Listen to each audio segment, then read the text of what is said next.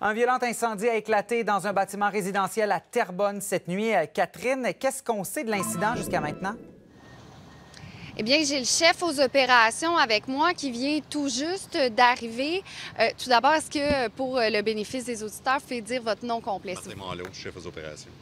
Monsieur Manlot, qu'est-ce qui qu'est-ce qui s'est passé? Vers quelle heure tout d'abord est-ce qu'on a reçu l'appel? Vers minuit 30, on a reçu un appel pour un incendie de bâtiment confirmé par plusieurs appels à la centrale. À notre arrivée, euh, les premières unités ont procédé à une évacuation rapide de deux personnes.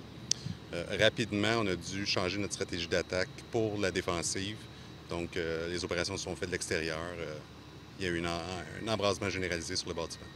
ce que je comprends, c'est que ça s'est fait, vous l'avez dit rapidement, là, donc quand vous êtes arrivé sur place, vous étiez à éteindre, mais on, se doutait qu'on n'allait pas sauver le bâtiment, c'est ça? Non, de, toute évidence, non. Et euh, il y avait combien de logements? Le nombre de logements, c'est euh, quatre logements. Il y a trois familles qui ont dû être prises en charge par la Croix-Rouge. Au total, ça fait huit personnes qui sont prises en charge par la Croix-Rouge. Et en ce moment, on en est où? Parce qu'on voit encore de la fumée, là. On voit qu'il y a encore des opérations en cours. Le bâtiment est sous contrôle, c'est-à-dire qu'il n'y a aucun risque de propagation au bâtiment voisin. Euh, par contre, l'opération qu'on est en train de procéder, c'est les déblais pour terminer l'incendie.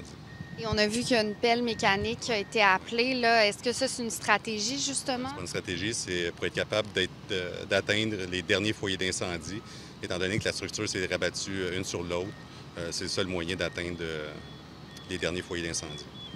je sais que c'est toujours difficile à estimer, mais vous estimez qu'il vous reste combien d'heures de travail, peut-être? Encore peut-être pour deux heures de travail avec les pompiers sur place. Merci beaucoup. Bienvenue. Donc, vous le voyez, cet incendie, mon collègue caméraman Mathieu qui vous a aussi montré euh, des images de cet incendie euh, qui est maîtrisé, mais il y a quand même encore quelques foyers à éteindre. Donc, évidemment, on reste sur place et on vous donne plus d'infos plus tard. Merci, à tantôt. Au revoir.